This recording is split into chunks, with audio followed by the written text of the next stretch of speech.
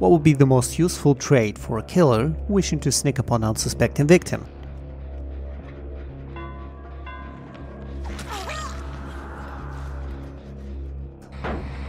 He is specializing in sneaking to survivors, pretty much the same way you sneak into fridge every night while no one pays attention.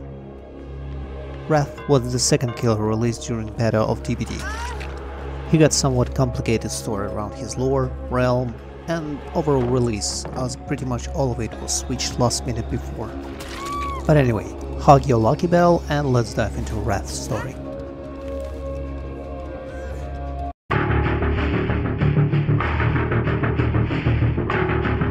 Wraith's real name is Philip Ojomo. In his realm, well, it's a little complicated. At the release, it was Autohaven Wreckers, but it wasn't so at the very beginning. During the development, Wraith Realm was Swamp. But due to some technical issues, they couldn't prepare it for the final version, so they just moved him to Autohaven.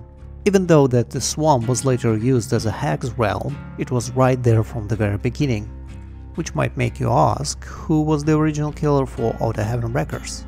Oh, that's easy. It's Bob. Well, you know, Bob. That's just Michael Myers. Yes, but most probably they got license for Michael by this time, so there were no need for Bob anymore. But anyway, let's go back to Wraith. Since I have no idea what the original lore for Wraith was, best we can do is just check the current one Philip was born in Nigeria. The civil war broke in the country, and it was increasingly dangerous with every day. His father made a lucky bell for Philip. It was ringing loudly when struck. Philip lost everything to this war. His parents, friends, neighbors, even his humanity. One day Philip enters another decimated village. Under the cover of darkness, and he sees the crew, a killing crew. Maybe it was the very ones who killed his friends, or even his parents. He doesn't want to forgive, he wants them to suffer like they made his people suffer. They should disappear in flames, same way they made his friends and family disappear. And for a moment, just a moment, he is the angel of death.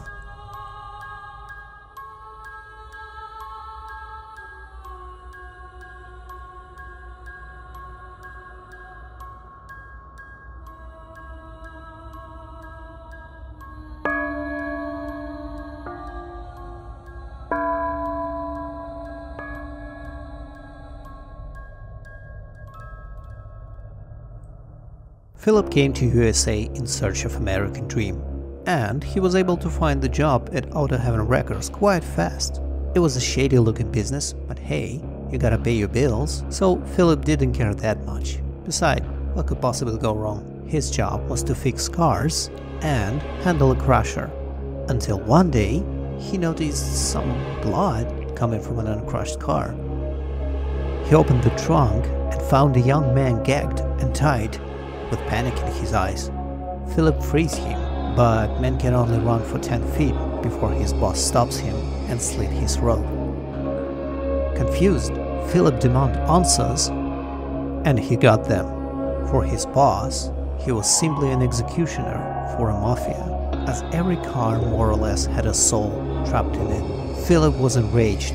He grabbed his boss and threw him in a crasher, with only his head sticking out. When it stopped compressing, Philip ripped the head with the spine, and he left and was never seen again.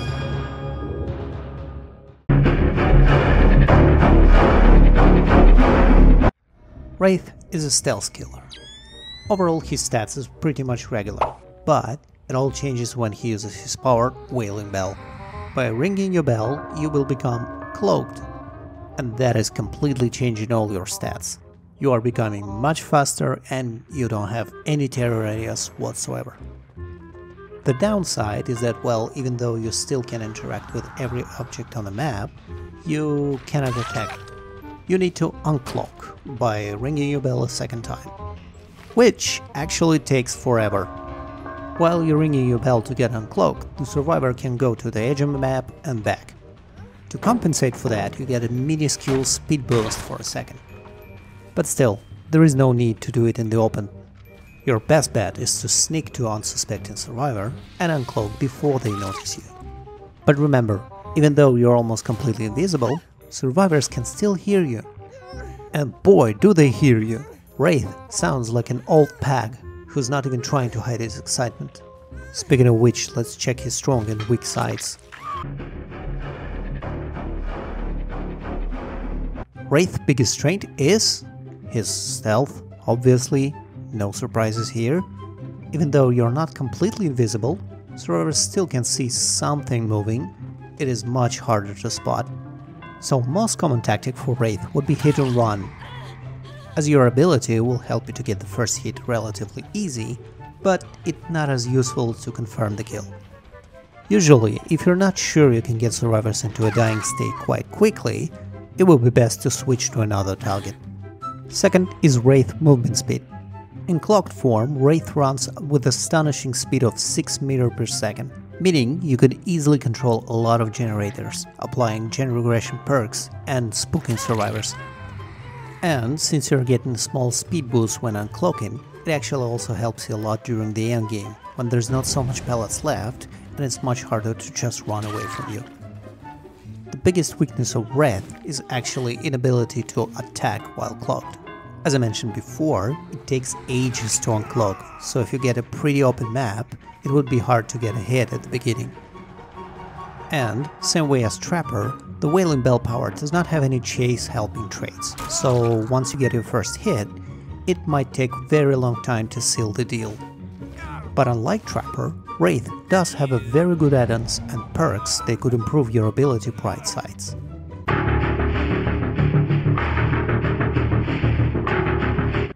Wraith add-ons does improve his ability significantly, and picking them might change your playstyle dramatically.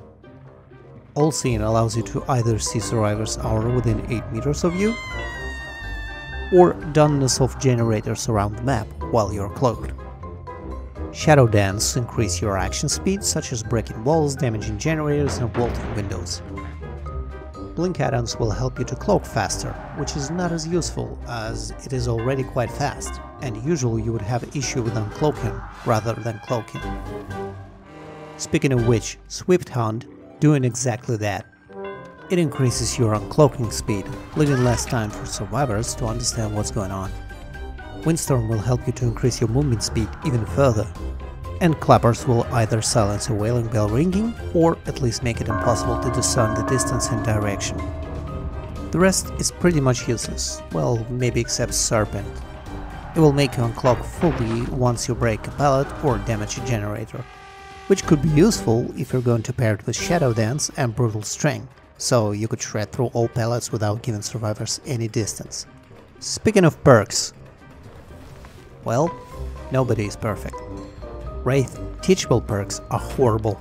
Predator will make scratch marks from survivors to be much closer together, which is not that useful because usually you can pretty much easily find the survivor. Bloodhound adds some toxic color to your survivor's blood and Shadowborn is very addicting.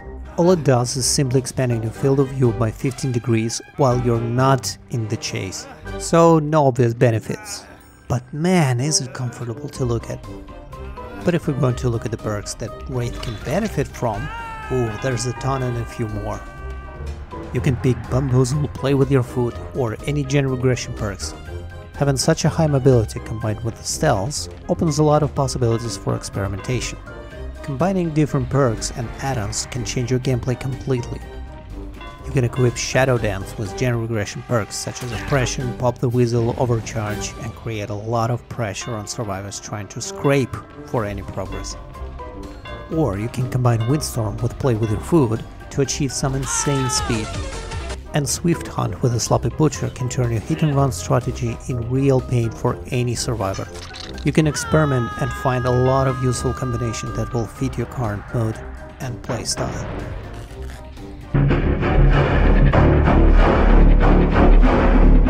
Wraith is much more dynamic and interesting killer than Trapper.